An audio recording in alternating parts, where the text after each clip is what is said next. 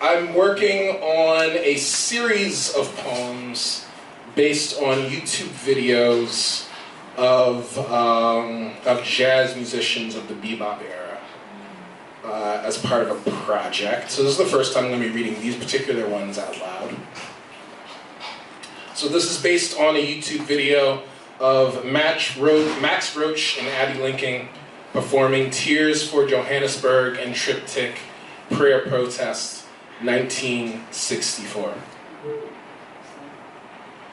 Black woman there and gone like a ghost, no words. If you need words to say tears, you're not crying. Don't say the word crying if you want to learn pain. Bald like the sun died, bald like a shaved head, sackclothed eyes, tea tears bleeding down your collarbone. Crying is also a bouncing forward if you have no choice but to work, run, running on an empty tank. Something like a cross is in the background of the Belgium stage, but strung out like a gutted piano, and then we hear the piano itself, dignified and swung, short solo, minor chaotic clusters that land on a warm major spread. The bass line ends, loops at the low end of the scale, and jumps back Sisyphus again. Crisp black funeral suits on everyone but Lincoln. Where has she gone? Empty mic where a black woman sung Afro like a halo, no words but the tom come crashing. How effortless and precise the rage. Muscles smooth like sand dunes are under Roach's face. I went to Johannesburg 55 years after this recording. I've never seen a city more under siege, this dude from the hood. I've never seen a flow of citizens so scared to walk the streets at any time. Electrified fences around yoga studios now, white Africans telling me they're colorblind. Flying into Johannesburg, the township roofs are made of jutting slabs of corrugated steel. In the sun, the glint of those shanty rows cuts your eyes, slits it clean, extension cords snake through center block holes down streets with no names, just as quick. Chow- township disappears under landing gear. The captain says, Welcome home. The hi hat lands steady on the whole notes, but Roach scatters a chaotic roll on the hinge where the top half is loose. Sax player's face frowns a tight fart.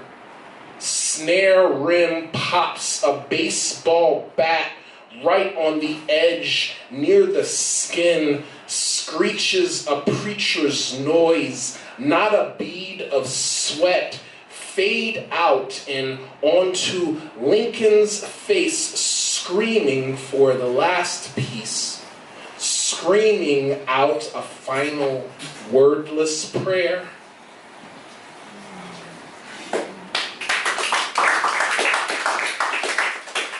And one more. So um, it started off, so the, the, the project is called Bird Diz, an erased history of bebop. And started off with just looking at interviews of, of Dizzy Gillespie and, uh, and Charlie Parker and seeing how they, as kind of like, kind of like images of, of, of black male, black masculinity during that time intersect. But I ended up kind of like looking at interviews of lots of different people. So I was looking for like the earliest YouTube recording of Sarah Vaughan. And the earliest one I could find was of Playboy's. Um, Playboy used to have like a variety show that they did in the late 1950s. Um, and and they would you know be, be like dressed in suits and Hugh Hefner's girlfriends were just like meandering, you know, and um, and he would have you know like the the biggest like musicians and thinkers of the day because that was porn back then. So uh, this is a poem after a YouTube video of Playboy Penthouse, November 28, 1958, Sarah Vaughan and Pete Seeger. Before the woman known as the Divine One speaks, Martin Ingels, a doughy cheeked man who'd been in three movies before marrying a wealthier star, stood between Hugh Hefner's girlfriends. They say little and are wrapped in silk sheets. Marty's caught in a story about he never has enough cash to pay the toll booth and how laughable it is that they always let him through. Hugh Hefner, standing politely nearby in an identical suit, turns towards the camera like a friend in law walked in. We are three minutes and 31 seconds into the video featuring the earliest recording of Sarah Vaughan I can find when I blank back from my phone, dazed and splayed out on my couch to find Marty is still talking, now on an imaginary phone having a conversation with a Chicago bridge, putting a lien on his house. The women make small sounds that are close to laughter. It pains Hugh to say, politely as always, that Sarah Vaughan is here, black, black for a long time, then fuzz. Smoke that Vaughan takes a drag from once and then waves away her cigarette in the cloud of Hugh Hefner's long stemmed pipe. I can count Six famous men Vaughan and Hugh discuss in her short interview before introducing the band. It's her band now, but we don't need to say much about their names.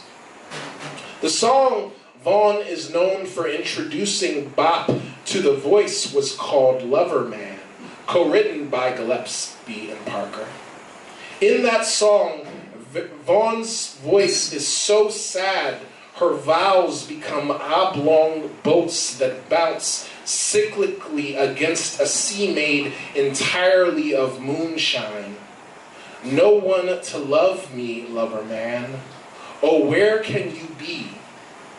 The song she sings for the Playboy Mansion is similar, misty, how she's as helpless as a kitten in a tree a sleight of hand man who appears after says, Well, look, she's the best. That girl hits me right in the middle, right inside the jangling purse I have written, hidden inside of my breast. Thank you.